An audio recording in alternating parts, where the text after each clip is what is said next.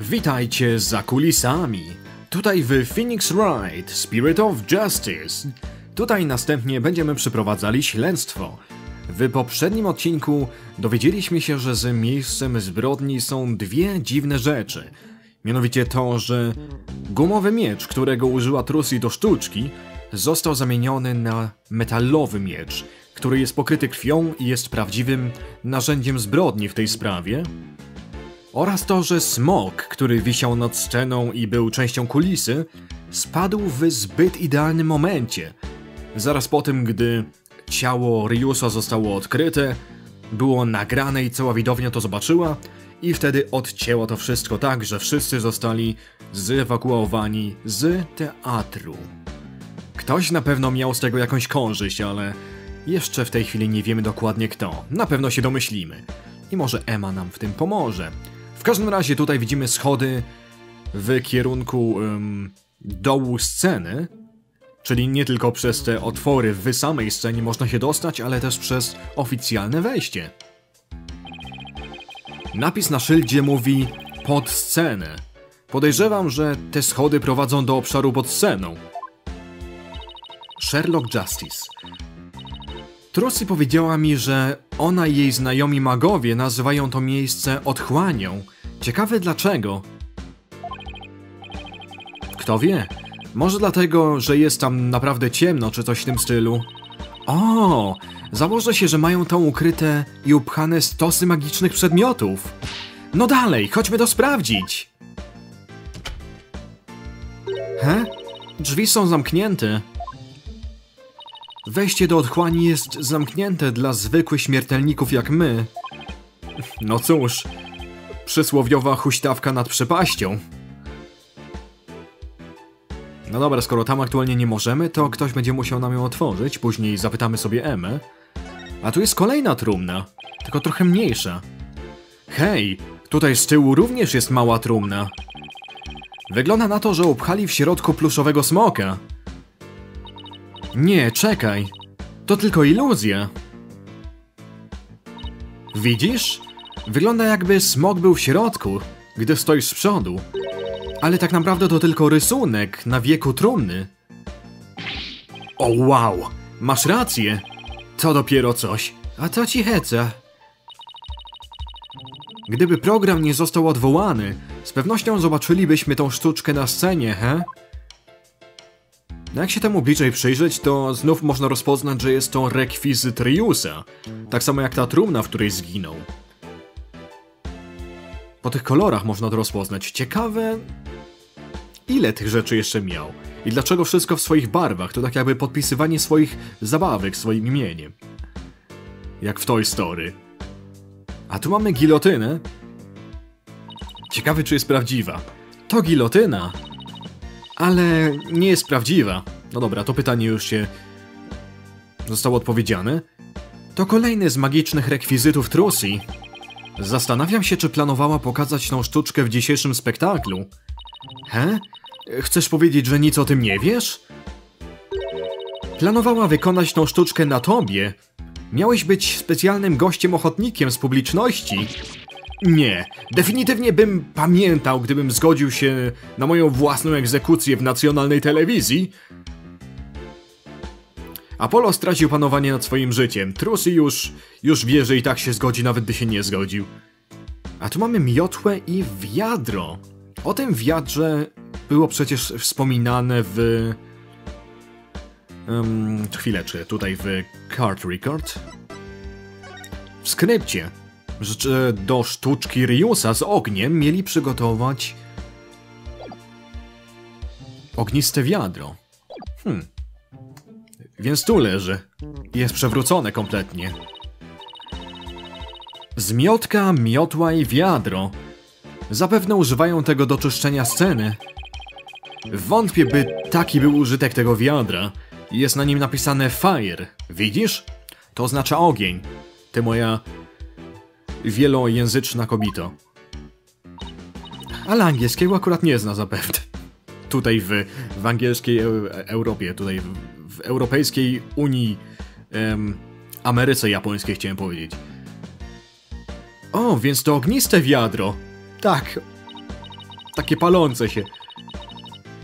Tak, słyszałem, że właściciel teatru poszedł je kupić specjalnie na ten program. Przeraził się, gdy tylko usłyszał, że będą tu robione sztuczki z ogniem. Natychmiast pobiegł do sklepu, by je kupić. Ale czy małe wiadro takie jak to naprawdę jest w stanie coś działać przeciwko rozszalałemu ogniu? Właściciel pewnie myślał, że tak. Ale nie wygląda na to, by było używane. Nawet jest pokryte kurzem. Więc po co w ogóle kupił to wiadro? Czekaj no chwilę. To oznacza, że rzeczywiście nikt nie przygotowywał się do tej sztuczki. Hmm. Mam przeczucie, że to może być ważna informacja. No tak, warto zapamiętać. Tak jakby było wiadomo, że sztuczka Riusa z ogniem nie zostanie wykonana. Czyżby ją odwołali czy coś? Nie każdy o tym wiedział? Ale ludzie, jeżeli coś się pali, natychmiast straż pożarną dzwonić, a nie bawić się z wiadrami tutaj jakiej rzeczy. Chyba, że jest to naprawdę bardzo mały ogień. Ale tak jak już się zaczyna rozpętać, to nie radzę. Byłem kiedyś w takiej sytuacji, że mieszkanie nade mną i to mieszkanie nad tym mieszkaniem się spaliły, bo to środkowe mieszkanie, no tam koleś miał jakieś stare radia czy coś takiego, nagle zaczęło się to palić i on tam próbował szklanką to wszystko, to, to wszystko zgasić i... No i później było za późno. Musieliśmy się z tego w domu wyprowadzać, ale na szczęście, ja miałem szczęście, że później tylko dywan był mokry, a wszystkie rzeczy przetrwały. To to niesamowite, prawda? Trzy mieszkania, w środkowym się pali i tylko dwa się spalają, a to, w którym ty mieszkasz, to masz cholerne szczęście i nic nie tracisz, a ci inni zostają bez niczego. No cóż, mamy tutaj takie wciągarki jeszcze do zbadania. Co to jest? To wciągarka. Zapewne używali jej, by wciągnąć pana kapelusznika na górę. O, spójrz! Są nawet dwie. Jedna tu i, i jedna tam. Najwyraźniej każda, każda podnosiła coś innego. Na jednej z nich zawieszony był drewniany smok, podczas gdy druga była połączona z tą dziwną lalką, która jest na górze. Dziwna lalka? Lepiej byśmy sprawdzili, co jest na górze. No to... drabina, idziemy na górę. Wygląda na to, że ta drabina prowadzi na strych. Catwalk chyba przetłumaczyć można na coś innego, że te, te belki na górze i tak dalej, ale chyba strych jest łatwym słowem, które można tutaj użyć i każdy i tak wie o co chodzi. Czy na, naprawdę muszę iść na górę? E, czemu nie pójdziesz na górę, by to sprawdzić, Atena? Jestem pewien, że spodoba ci się powietrze tam na górze. He? Skąd do diabła przyszło ci do głowy tamy... Czekaj no chwilę. Chcesz przez to powiedzieć, że chodzę z głową w chmurach? Bezczelność! nie to chciałem powiedzieć. No więc idź, biegiem, hop hop. Poczekam tu na ciebie. Okej, okay, teraz zaczynam rozumieć. Masz lęk wysokości, co Apollo? No chodź, dalej. Zrób to dla Trucy. Ona naprawdę potrzebuje nas, więc biegiem, na strych. No więc, yy, chyba najwyraźniej czas ubrać spodnie prawdziwego faceta. Tylko nie spadnie Apollo. Boże. Eee. Czy wszystko z tobą w porządku, Apollo? Jesteś blady jak ściana. Eee, ja mam cię dobrze. Nie patrz w dół, sprawiedliwy. Tylko nie patrz w dół. Wow, Apollo nawet tak jest w strachu i w szoku, że nawet zapomniał swoje własne nazwisko. Te zielone rzeczy tam wyglądają jak poduszki. Zapewne jedna z nich została użyta, by zahamować i zabsorbować uderzenie pana kapelusznika, gdy wciągnięto go na górę. Chodźmy to sprawdzić. C -c co? Tam? Najpierw tutaj z daleka podziwiajmy sobie te drewniane figurki, rekwizyty. Zawiski. Te drewniane figury, część, części kulisu, wyglądają jak królik i księżyc. Chociaż z innego punktu widzenia wyglądają również jak kaczka i rogalik. Jak wyglądają dla ciebie, Apollo? Jak śmierć i koleś, który nadział się na jego kosę. No dalej, Apollo. Kontynuujmy ze śledztwem, zanim twoja wyobraźnia pozwoli sobie na zbyt wiele. Ej, to prawda, kurczę, wszędzie tutaj są iluzje optyczne. Twórcy wczuli się kompletnie w temat. Tu na dole leży pan kapelusznik? Nie zabrali go. He? Co to? Czyli to jest ta lalka, o której mówiła Emma. Spójrz, Apollo! To pan kapelusznik! Jest przywiązany do liny. Swoją drogą, czy Trusy nie wspomniała coś takiego? Szybko podnieśli pana kapelusznika na linię, który uderzył o poduszkę na suficie. Może ludzie od sceny położyli go tutaj później na górze? Żeby nie spadł czy coś? Albo nie dyndał po prostu? Ta lina jest przywiązana do jego pleców. Wygląda na to, że jest podłączony do jakiej, do jednej z lin na dole. He? Peleryna pana kapelusznika jest naderwana. Czy zdarzyło się to podczas występu? Pamiętajcie, że były dwa cienie. Hmm, to dziwne. Prawie jakby został porwany przez ostrze. Jak do diabła mogło to się zdarzyć? Apollo, widzę, że próbujesz to wytrzymać i w ogóle. Szanuję to, ale no... No, no sam wiesz. Ale szczerze, drżysz tu jak noworodek. Weź się w garść, chłopie. N nic na to nie poradzę. Oj, biedny Apollo. Znaleźliśmy jego... Jego główną wadę. Jego głównego wroga Nemezisa, który wchodzi mu w drogę. I wyjątkowo nie jest to on sam. Co my tu na górze mamy? Jakieś szpule, jedna duża i mała. Wow, to dopiero duża szpula? Apollo koncentruje się na pracy, to nagle już zapomina o strachu. Wygląda na to, że jest połączona z jedną z wciągarek na dole. Smok musi być przywiązany do tej. Albo musiał być wcześniej do tej przywiązany. A to oznacza, że mała szpula jest powiązana z panem kapelusznikiem.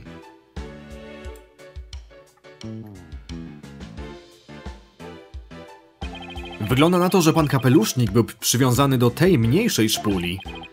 Pomyślmy, jak to szło. Po oczarowaniu przez pocałunek pan kapelusznik oszalał i gdy miał dźgnąć trumnę, został wciągnięty na sufit. A zasłona dymna była po to, by zasłonić publiczności widok na to. Ciekawe jak, jaki dialog byłby, gdybym najpierw tą małą, a później tą dużą wybrał. Pewnie prawie to samo, tylko ta pierwsza zwrotka, to pierwsze zdanie byłoby inne. I tutaj mamy jeszcze inne poduszki, nawet trzy. Czyli ta, gdzie kapelusznik był, nie była jedyną, czyli naprawdę coś innego mogło być jeszcze wciągnięte. Może ma to coś wspólnego z morderstwem. Hej, spójrz! Do dolnej strony są przymocowane poduszki. Ej, Apollo, co stoisz tak z tyłu? Podejdź tu i spójrz. Jesteś pewna, że nie spróbujesz mnie zepchnąć na dół? Serio, Apollo? No daj spokój, będzie dobrze. Chodź, chcesz, bym potrzymała cię za rękę? T tak. Nawet... Jeśli to ci nie przeszkadza? Wow, Apollo musiał mieć strasznie smutne dzieciństwo, skoro w każdym chwili, w każ za każdym rogiem podejrzewa, że ktoś zrobi mu dowcip czy coś takiego. Wygląda na to, że masz rację. Trucy coś o tym wspominała, czy nie? Że poduszka miała zaabsorbować siłę i dźwięk uderzenia pana kapelusznika, gdy go w to ciągnięto. To nie tak, że powtarzaliśmy to już 10 razy dzisiaj? No cóż, ale nie każdy musi wszystko badać, prawda? Chociaż nie jestem pewny, czy tutaj na miejscu zbrodni chyba naprawdę rzeczywiście wszystko musimy badać, zanim nas stąd wypuszczą. Czy tylko poszczególne rzeczy. Poprzednich grach Ace Attorney było, że poszczególne rzeczy, ale tam też więcej mogliśmy badać. No sam nie wiem. Może dlatego tyle wiemy. Tyle dostajemy powtórzeń na każdym kroku. Cóż, wygląda na to, że to byłoby na tyle, jeśli chodzi o strych. Myślisz, że mogliśmy to coś przega... Nie, e, e, niczego nie przegapiliśmy. Skończyliśmy tu. Yes, sire! Więc jesteś gotowy, by zejść na dół? Te, te, tak myślę, że, że lepiej będzie jak zejdziemy. Zaczyna mi się robić słabo. O, bracie. Tym razem chyba poradzisz sobie bez mojej ręki, co nie? Apollo tylko nie spadni?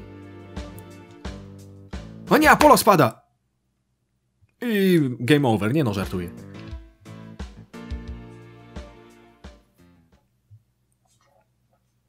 Nie złamał sobie ręki, ale prawie, było blisko.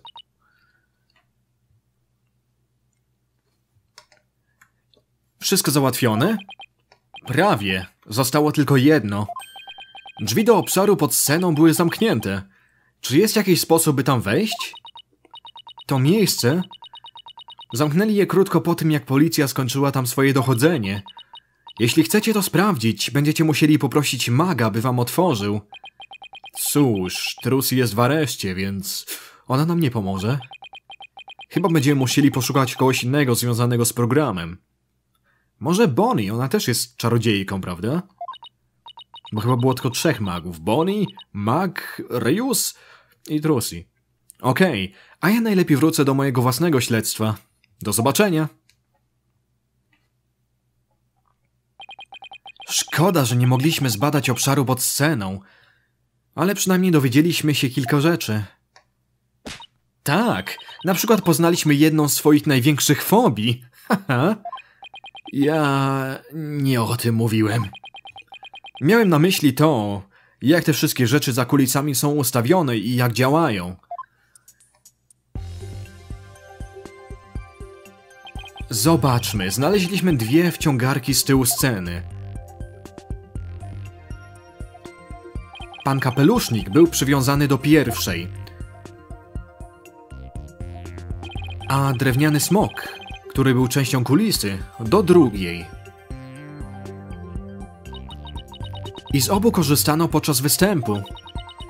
Krótko po odkryciu zwłok, smok spadł na scenę, a w chaosie, który nastał i rozpętał, sprawca mógł wymienić gumowy miecz na prawdziwy. Więc wygląda na to, że najlepszym sposobem na udowodnienie niewinności Trusi jest zidentyfikowanie prawdziwego zabójcy. No nie, a co robimy zazwyczaj? Udajesz, jakby to było zupełnie coś nowego. Co za totalny bałagan. To wszystko jest wspaniałe, po prostu wspaniałe. Ten dzieciak Wright to druga liga. Małe ziemniaki. Półdorosła pseudo-gwiazdeczka.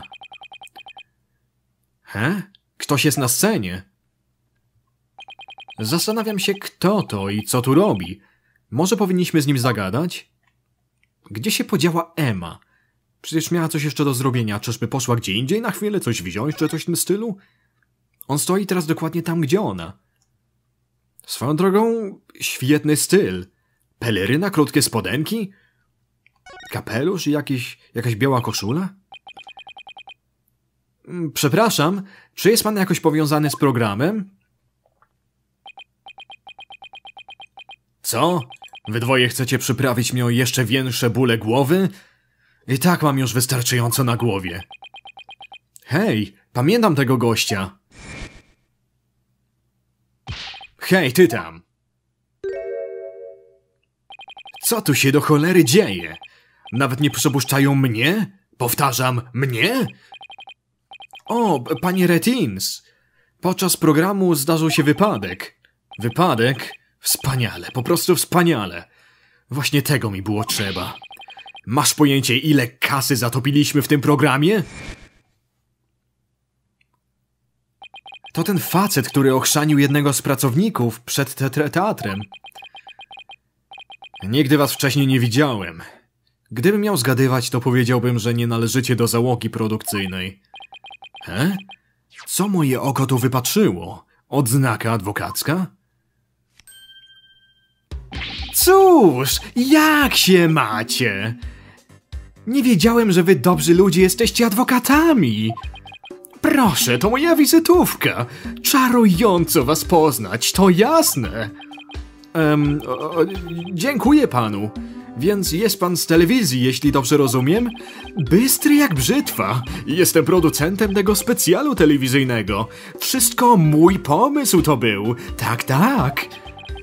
Jestem Apollo Justice. Jestem tu w sprawie obrony Trucy Wright. Trucy Wright? Cy.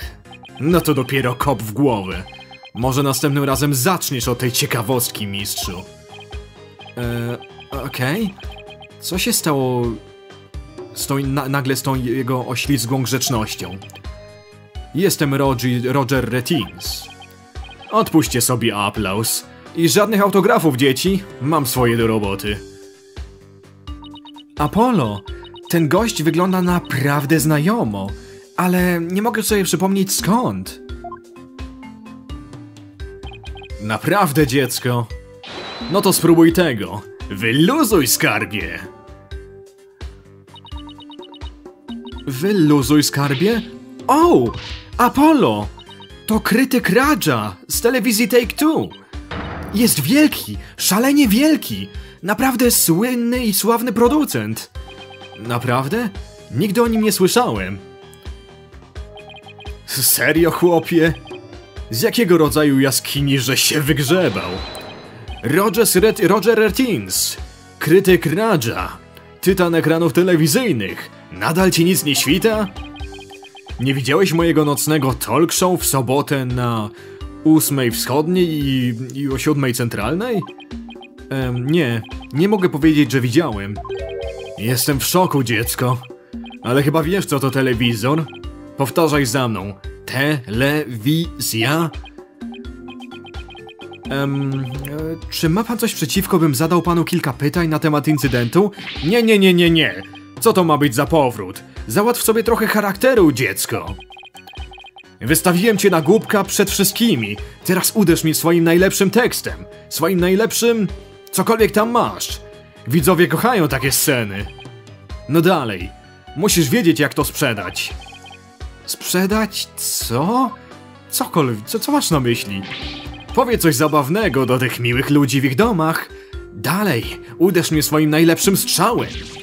Moim najlepszym strzałem? Zaczynamy tonąć. Pośpiesz się zanim zmienią kanał. Hop hop. Em, okej. Nadchodzi. Gadaj do ręki. Kapał!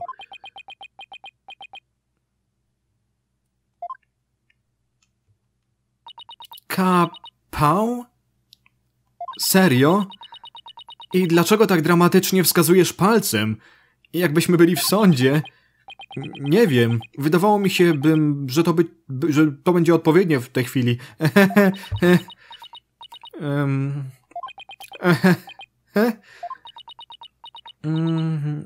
Apollo. Uff, ten cringe pójdzie do folderu żałosnych nagrań. Aż wstyd mi za ciebie, gdy na siebie patrzę. Myślę, że wszyscy możemy się zgodzić, że była to totalna pomyłka. E, jeśli dalej będzie się tak... Jeżeli dalej będę się tak dławił, to będę potrzebował pomocy manewru Heimlicha.